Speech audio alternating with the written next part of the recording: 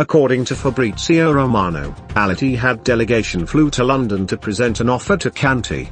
The Frenchman is in the final month of his CFC contract and looked inclined towards signing a new deal that would keep him in London for at least two more years.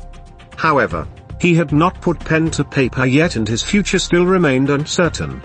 Al Ittihad made a mega financial offer that would see Kanté earn 100 million euros per season which includes image rights, commercial deals and a creative investment portfolio the 32-year-old was blown away by the lucrative financial proposal and is now expected to leave CFC as a free agent.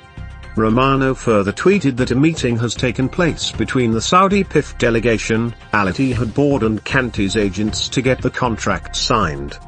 The Frenchman will earn a whopping 100 million euros per season until 2025 and a transfer confirmation is expected soon.